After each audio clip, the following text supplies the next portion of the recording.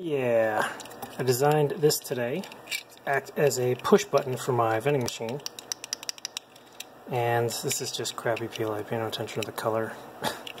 um, and what I did here was I designed, this is a momentary switch, which is inside there on the other side of this. It should take a lot of force and press you know, zillions of times before it wears out. And it's a bulkhead, just like many other switches. So you can push it, drill a hole, put it through there, and then you can screw this on the other side to make it nice and tight.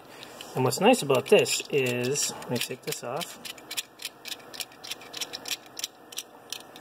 is even when it's not screwed in all the way, get that off, the button is still in there nice and strong. And the way that works, if I can put this down for a second there's another nut just like that one, just slightly smaller on the inside here.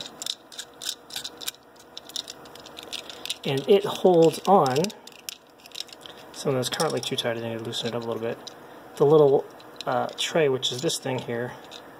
As you can see, it's a separate print. I can pull it off if I pull really hard. Hands are dirty. Um, and it slides on there. Like right now, it's a little too tight. I had to push it on really hard. I need to just increase the tolerance a little bit um, and it should come off. But that's where you, you know, you plug that in, solder some wires to your switch, and then just slide it up on there, and then you put the mechanism nut on there, which holds the whole thing together nice and tight, and then you can put, you know, drill a hole.